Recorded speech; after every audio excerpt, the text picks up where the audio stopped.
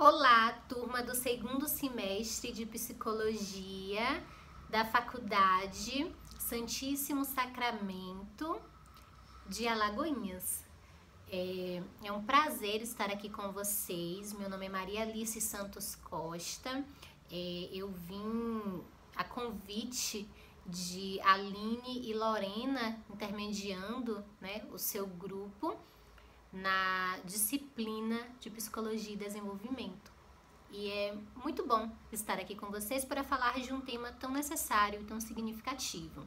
Mas antes disso, eu gostaria de falar um pouco sobre a minha experiência, né? sobre quem eu sou. Quem eu sou? Quem é essa pessoa aparecendo aqui para vocês? Eu sou psicóloga, sou especialista em psicopedagogia transdisciplinar, clínica, institucional e hospitalar possuo experiência como psicóloga escolar e atuo na área clínica, tanto no campo da psicologia como da psicopedagogia. Tenho cinco anos de formada, ano que vem, 2021, estarei aí chegando nos, nos seis anos. Inclusive, já digo para vocês, viu? Passa no piscar de olhos. É incrível como acontece tão rápido, mas enfim. É, durante esse período de, de formação, né, tanto do, do campo acadêmico como é, posteriormente já na, como psicóloga, eu tive e tenho é, muitos exemplos e experiência com o público da terceira infância. Sempre me agradou e me estimulou muito estudar a respeito, por entender a importância dessa fase, né? Obviamente das outras fases, mas dessa fase também, e o quanto nesse período é, as crianças elas estão conseguindo já ter discernimento e entender sobre aquilo que elas estão pensando, esse processo de reflexão, é, no campo também da ludicidade, elas conhecem, conseguem é, entender mais como que as coisas funcionam nos jogos, a importância das regras, o significado das regras. Então é uma fase realmente incrível e que o profissional ele precisa aproveitar, aproveitar tudo que essa fase proporciona. Então dos 6 aos 12 anos é uma fase realmente é, importante e que precisa ser acolhida com muito afeto, afetividade, eu sempre digo que é essencial tanto no processo da família da escola quanto do profissional, nesse caso, o psicólogo clínico. Esse, essa relação que você tem com a criança, esse vínculo que você cria através da afetividade é extraordinário. Isso tem um papel fundamental no processo de desenvolvimento dela. Inclusive no campo que nós estamos falando aqui, dos transtornos. Então, o que eu posso dizer para vocês é, de uma forma mais clara, de uma forma mais objetiva, é que essa minha experiência até o momento, ela conseguiu é, me trazer observações e reflexões a respeito da importância de trabalhar, inclusive, as habilidades socioemocionais dentro desses transtornos, que é inclusive um dos meus campos de pesquisa e de estudo atualmente, apesar de ter sido também no, na época da, da academia, da faculdade. É, sempre me senti estimulada a estudar a respeito no, na área da família, da escola e desse foco clínico que eu tenho né, desde então. Então, é, nós, né, enquanto profissionais, eu vou trazer a minha experiência. Eu tive contato e tenho contato com crianças é, desse, dessa fase da terceira infância também, especialmente, é, onde é necessário você fazer um acolhimento a essa criança e, e principalmente a sua família. Por quê? Um dos desafios que eu encontro muitas das vezes é sobre os pais e, ou familiares, né? Eles terem dificuldades em aceitar o diagnóstico dessa criança. E muitas vezes esse diagnóstico que deveria ter sido feito muito antes, ele só é feito nessa terceira infância, nessa fase.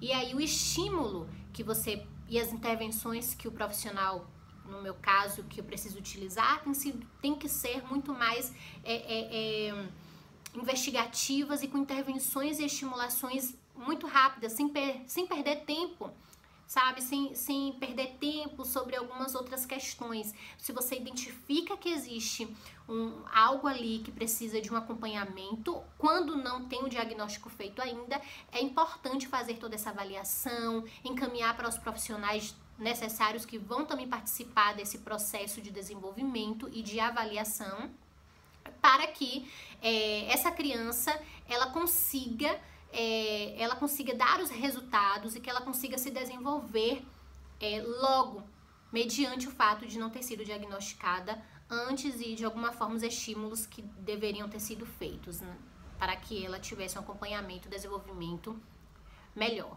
né? Mas também existem os casos de que essas crianças já vêm com esse diagnóstico e esses pais é, de alguma forma têm uma certa dificuldade para lidar com eles, mas estão ali acompanhando. O que eu quero dizer é que, de todas as formas, o acolhimento sem julgamento é extremamente necessário e importante. Então, o afeto não é só com uma criança, mas com toda essa família, com o ambiente escolar. Então, é uma ligação que você tem com a criança, com a família e com a escola. Todos precisam caminhar juntos todos precisam focar nesse processo de desenvolvimento dessa criança. E ela, nessa fase, está, como eu disse, é, é, capacitada a fazer as suas reflexões sobre os seus pensamentos, sobre as situações ao seu redor. Então, muitas vezes elas sofrem é, o bullying, muitas vezes elas sofrem com a dificuldade de acompanhar os seus colegas em sala de aula e esse sofrimento é trazido para a clínica e é na clínica que vai ser feita essa investigação e essa intervenção, não só, não só com estímulo para o seu processo de desenvolvimento, mas também para que elas lidem com essas situações, essas questões que são enfrentadas no seu mundo externo. E o que eu posso dizer para vocês é que nada disso pode ser feito sem pesquisas, sem estudo para o campo científico, que é extremamente necessário, sem a entrega para esse conhecimento, para essa abertura da novidade que cada criança vai trazer. Cada criança ela tem a sua subjetividade, você precisa trabalhar em cima dessa subjetividade e não apenas com o transtorno, com esse diagnóstico que foi feito, mas com todo, com a completude que essa é, essa criança vai trazer dentro da clínica. E é, esse é um, essa é um pouco da minha experiência, o que eu posso dizer para vocês de uma forma mais objetiva. Dizer que eu atuo na, nessa minha área, né, na área clínica, tanto como psicólogo psicopedagoga, com crianças do, com déficit de atenção e hiperatividade, muitos casos, inclusive, é, experiência com é, crianças do espectro autista, então transtorno do neurodesenvolvimento, transtorno opositivo desafiador, enfim, tantos outros. E cada um deles precisa ser acolhido, amparado, estimulado e ter intervenções muito específicas e que tenham sempre um acompanhamento e que esse acompanhamento seja sempre muito é, é, capacitado, com uma capacitação sua, no caso minha de profissional, e vocês futuramente, e de todos esses profissionais que também precisam fazer parte. E a família é imprescindível para esse processo. E a escola vem só para fechar e, com, e dar continuidade a tudo isso.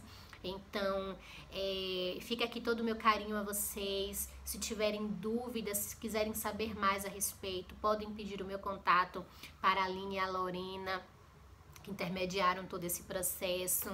É, podem me acompanhar também pela minha rede social, Instagram, psi.marialice, psi.marialice.